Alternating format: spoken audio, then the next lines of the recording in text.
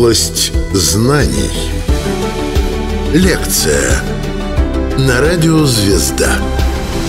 Какао в культуре майя. Рассказывает доктор исторических наук, директор Мезоамериканского центра имени Кнорозова РГГУ Галина Ершова. Область знаний.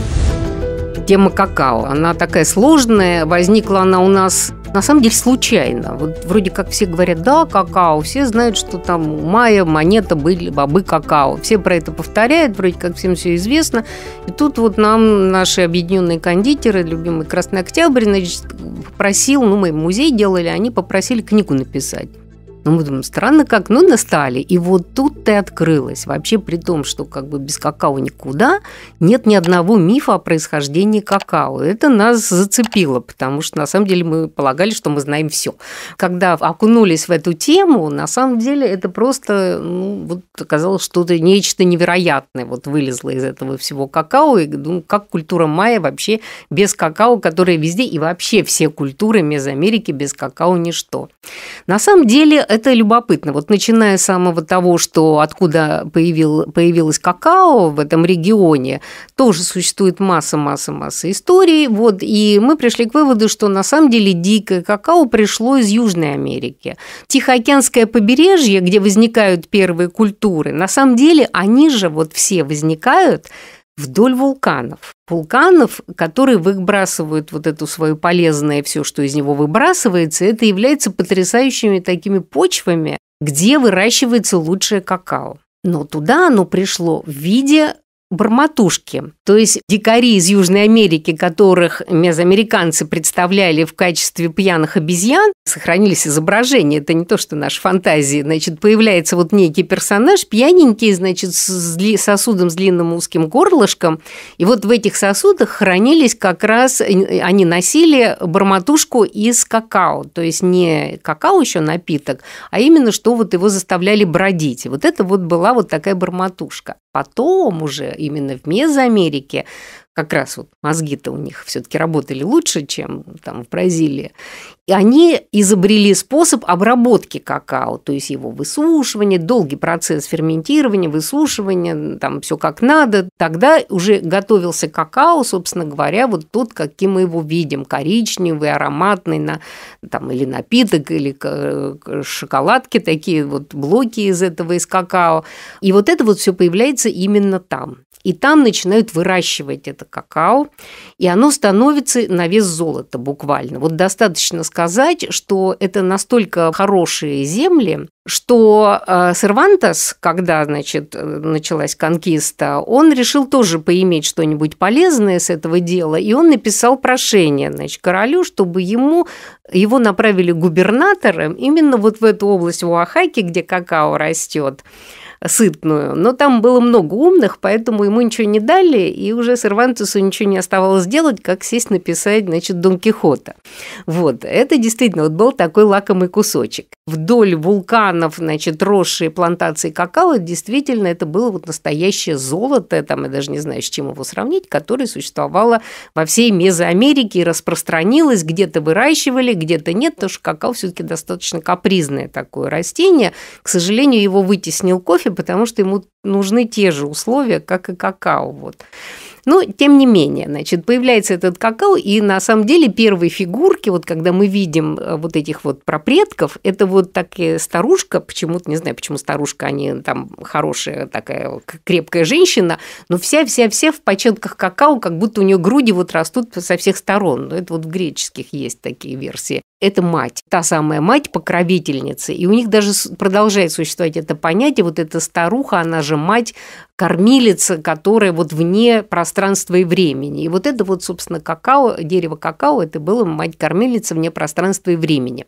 А у какао есть одна такая особенность, много особенностей, но одна из них, скажем, что оно плодоносит круглогодично, что плоды растут откуда хочешь. Хочешь из ствола, хочешь с веток, то есть его можно собирать как только тебе надо.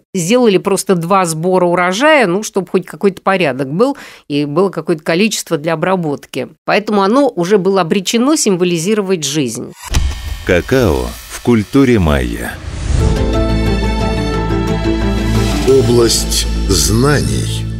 Самых ранних культурах, даже у альмеков тех появляется там втором тысячелетии Дашнер, уж следы какао в сосудах, то есть как ритуальное питье. И смотришь изображение, вот везде, везде, везде все в какао. Приносят изображение, там, скажем, отправления посланников или жертвоприношения, как принято называть. Это тоже обязательно сопровождается присутствием какао. Связь крови с какао, она начинает постепенно проступать вот из всего когда мы стали анализировать роль какао в культуре, то, в общем, конечно, стало понятно, что это вот что-то, нечто основополагающее. Да, все знают, что какао – это была монета. Какие-то расценки существовали, причем в колониальные времена приводят примеры расценок купить там падшую женщину, еще что-то, то есть вот все, все расписано, кто что сколько стоит. При этом какао, значит, еще есть простой совсем, а есть какао элитный. Хорошая вкусная шоколадка, там должно быть не менее 20% элитного какао. Иначе оно, э, там много танина, то есть вяжет и такое, и совсем не то про это все знают. Причем даже были жулики у них в их времена, когда они подделывали эти бобы какао, то есть сделали их из керамики, из глины, обертывали шелухой и вот подсовывали. А, значит, на рынке уже ушлые они пробовали на зуб. В общем, да, или скребли пальцем и, значит, видели, что да, это подделка. Человек всегда остается человеком. И мы видим в рукописях, э, скажем, э, центрально-мексиканских прежде всего, собственно, эти мешки с какао, которые рисуются, им платили дань. Экономическая составляющая не вызывает вообще никакого сомнения духовная уж э, как бы составляющая, она гораздо более завуалирована. Потому что получается, что человек, он создан из кукурузы и какао. Кровь – это какао. И вот когда осуществляется жертвоприношение, то обязательно присутствует какао как символ вот этой самой крови. И даже слово, которое обозначает какао, оно перекликается как вот горячая вода, вот есть вот такие вот переклички, которые несут вот этот вот очень важный э, смысл во всем этом. Плантации какао были повсюду. Когда мы начали работать, объехали плантации какао, где, значит, вот его продолжают выращивать час, там много проблем. Там вот в одной плантации вдруг мы видим, например, вывернуло какао, элитное какао, и у него корни вот такие вот кривые, которые действительно напоминают изображение крокодила вот на древних росписях, и стало понятно, корень какао, он тоже отождествлялся вот с этой жизнью, которая питается соками из земли. Крокодила, который рисовали э, во многих культурах, который морда утыкается в землю, а хвост – плоды. Это символ вот этой реинкарнации возрождаемой жизни. И растет оно из пещеры, потому что считается, что дерево какао – это то самое, на котором вот эти плоды – это головы людей. Долгое время, ну, Бапоба Львух – это поздний источник такой, считалось, что из маиса растут вот эти головы. На самом деле, значит, классический период – это как раз были деревья какао. Причем любопытно рисуют дерево, рисуют эти головы, и вот одна голова созрелая, глазки открыты, все нормально. Вот другая голова, глазки еще закрыты, такой полудохленький, вот, видимо, не дозрела еще душа для того, чтобы выйти и появиться на свет. И вот это вот, значит, присутствует везде в качестве такого почти обязательного орнамента. Вот во всех местах, где были э, человеческие жертвоприношения, например, даже на Юкатане, где в Чечен-Ице, где вот эта игра в мяч, она же тоже символизировала вот тоже борьбу между уходом в этот мир, в тот мир. И вот там обязательно везде присутствует дерево какао, и точно так же колонны, которые изображают из себя человека уже, получеловека, который вырастает точно так же из земли, как вот дерево какао, и там, где ноги, это, значит, растут плоды.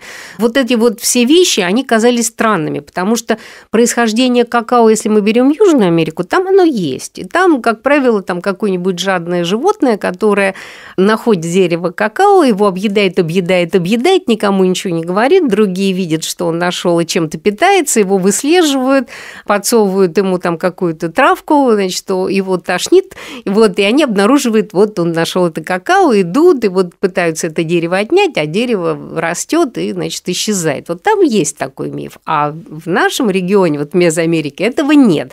Есть единственный странный такой момент, когда упоминается вот в поп львух, этот вот эпос Киче, когда предыдущая неудачная пара близнецов, они же обезьяны, они не становятся людьми, и вот они жадные, плохие, и занимаются только тем, что там играют э, в музыкальных инструментах, а толку от них никакого.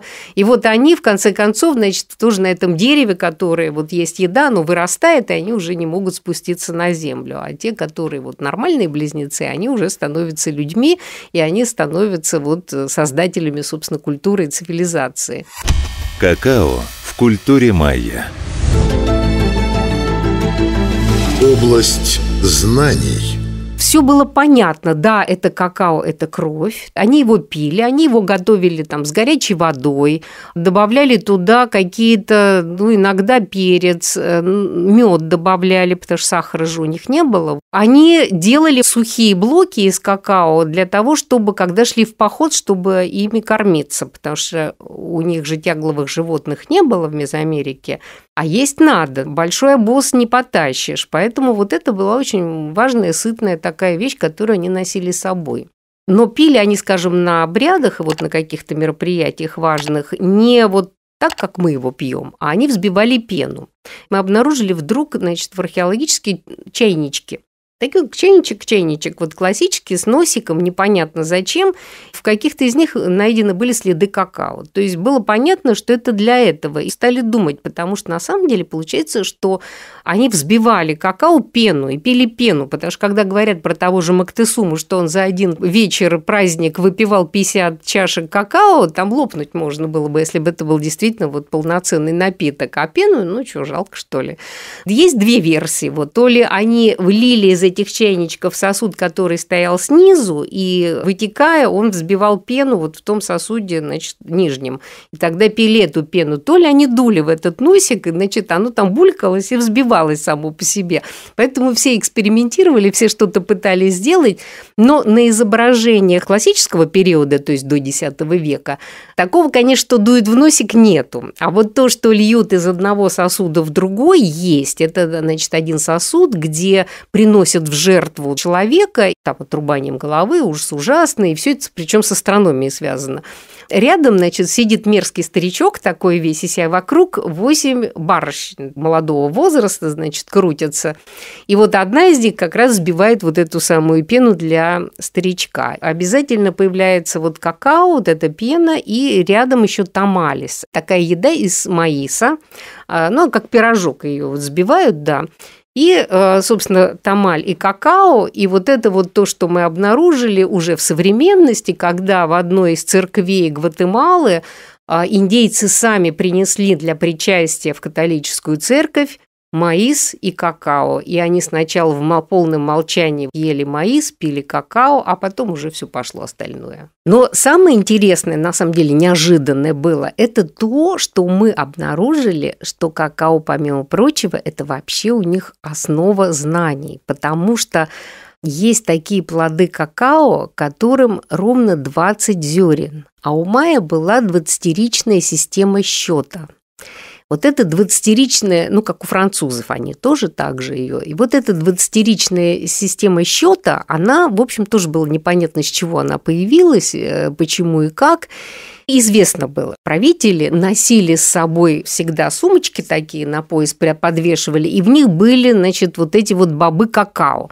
Ну, для того, чтобы на них что-то покупать, да еще правителю как-то оно не выглядело убедительно. А на самом деле, если взять 40 зерен какао, там 30, можно считать до миллионов на самом деле, вот по их системе счета, которая, ну, не такая сложная. Значит, они носили там бобы какао именно для счета, то есть как богатые, грамотные люди, которые считают свои деньги.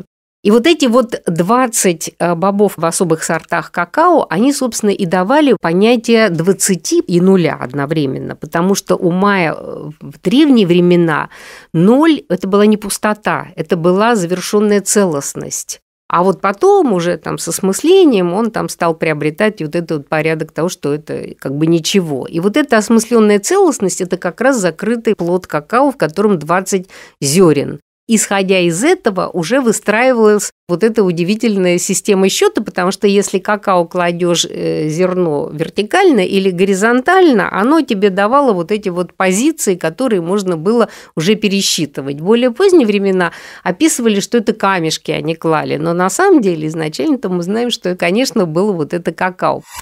Какао в культуре майя.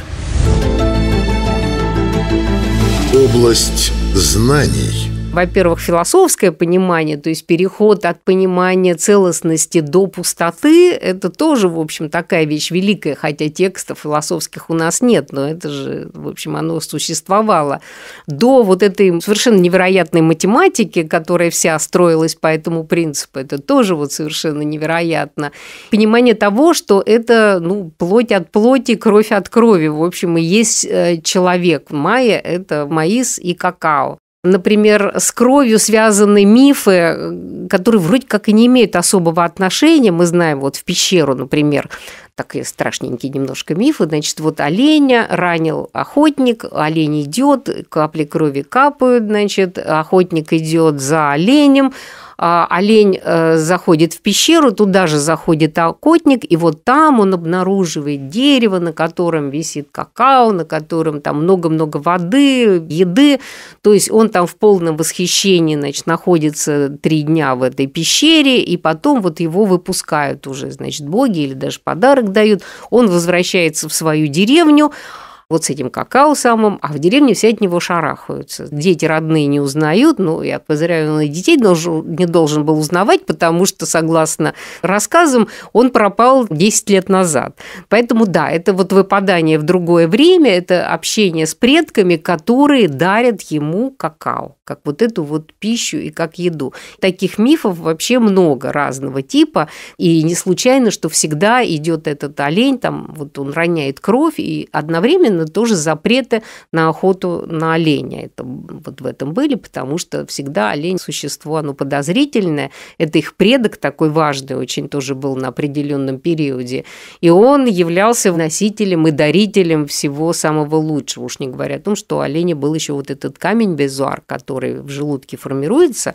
Это волшебный камень вот эти вот волшебные камни, они тоже высоко ценились. И вот не дай бог было убить оленя, отнять у него, взять этот камень, когда не разрешено было, тогда вот все ужасы ужасные, все падали на голову этого несчастного, значит, охотника, неудачника.